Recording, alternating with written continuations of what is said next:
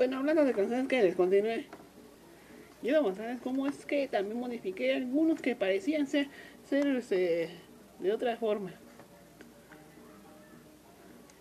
Este, por ejemplo, no era también era de un karaoke muy extraño. Pero al poco tiempo la cinta se la cambié y ya le hice que sea de 125 minutos. Aunque es muy exagerado, pero sí jala bien. Luego también mostré que este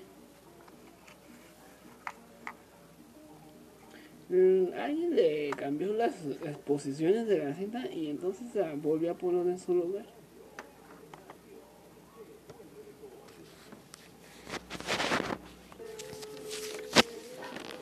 Algo que quiero destacar es que también aparte conseguí este. Otros también con otros rodillitos. Y uno que aunque le desprendieron lo que tenía aquí, le puse otros rodillos.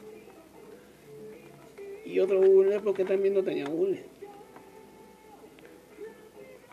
También ya me conocido como suspensión. Pobre de sueño. A los que sigan el,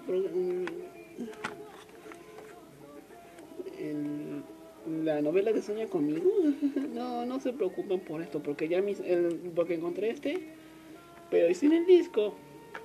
Pero solamente la uso como para mostrarles mis casetas.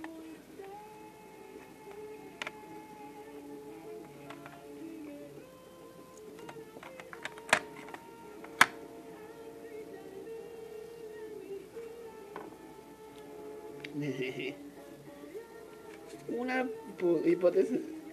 Desde niño yo era, yo era tan aficionado de los, aficionado de los casos desde el 2007, digo 2002 y, para el 2000 no tenía un Walkman.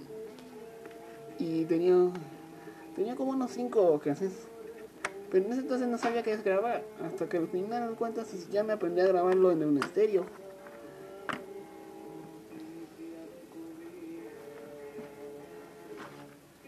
Desde entonces ya empecé a grabar. Un ejemplo como este que tiene años que ya lo grabé con con el estéreo de, que actualmente ya se está muerto. Este que también ya lo traigo grabado en mi grabadora. También muerta. Que es una Philips. Y este que lo grabé acá en una visita que hice con mis tías. Me dieron el cassette. Y listo.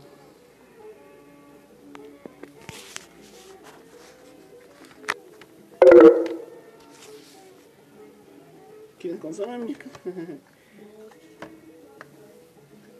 ¿De Tocho Morocho? ¿O aquí mismo?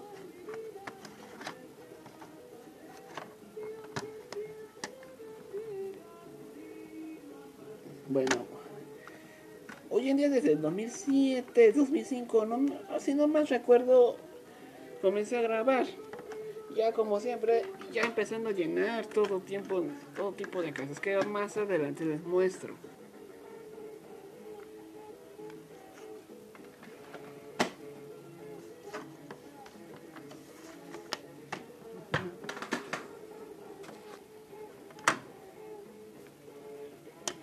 Qué, buen, qué buenísimo. Échenme a una.